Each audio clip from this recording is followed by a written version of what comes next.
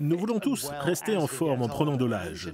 Des ingénieurs et designers ici à Milan travaillent sur un nouveau système de coaching personnalisé destiné à nous maintenir en bonne santé, du moins en théorie. Nous reviendrons ici pour en parler, mais d'abord direction les Pays-Bas pour rencontrer un sexagénaire qui va tester cette technologie pour la première fois.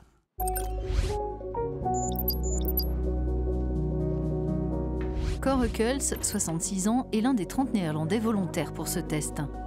Ce jour-là, la scientifique Canan Zilan lui apporte les appareils qui enregistreront différents aspects de sa vie. Son alimentation, ses contacts sociaux, ses capacités cognitives, son sommeil et son état de forme.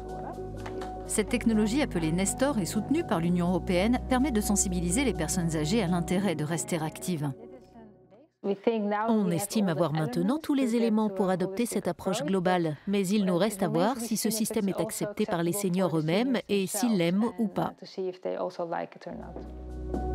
La technologie collectera de nombreuses données. Par exemple, le corps dira à Nestor ce qu'il mange, tandis qu'un capteur sera placé sur son réfrigérateur.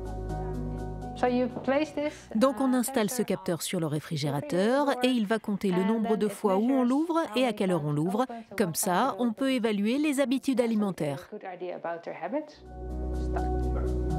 Corps est en bonne santé, il dit entamer le test avec l'esprit ouvert. Je n'ai pas l'intention de changer totalement mon mode de vie, mais je dois être attentif à ce que préconise le système et en tenir compte. Mais cela ne veut pas dire que je vais changer toutes mes habitudes.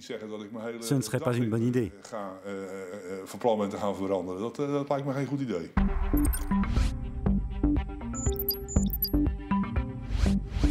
C'est ici à l'école polytechnique de Milan que Nestor est développé. Les capteurs connectés enregistreront nos faits et gestes et nous feront ensuite un retour sur la manière dont nous pouvons améliorer notre mode de vie.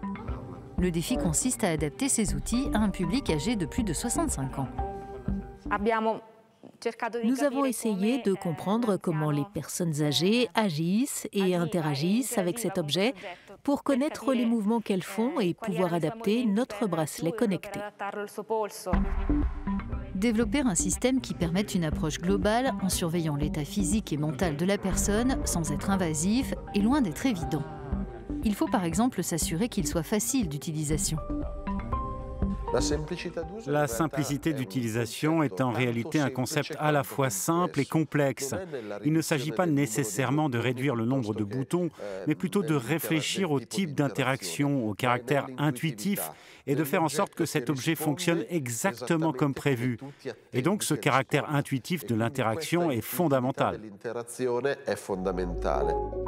Retour aux Pays-Bas nous retrouvons Cor à son club d'activité. L'équipe du projet Nestor a hâte d'avoir le verdict des volontaires sur son système et sur l'aide qu'elle leur apporte vraiment. Bien entendu, nous, en tant que professionnels et chercheurs, on estime que l'approche globale est la meilleure. Mais est-ce que les participants eux-mêmes vont penser la même chose? Donc, on ne se fait pas d'idées préconçues. En s'appuyant sur les expériences des utilisateurs, on pourra analyser les résultats et faire des recommandations. Nestor est actuellement testé par 90 volontaires aux Pays-Bas, en Italie et en Espagne sur une période de trois mois.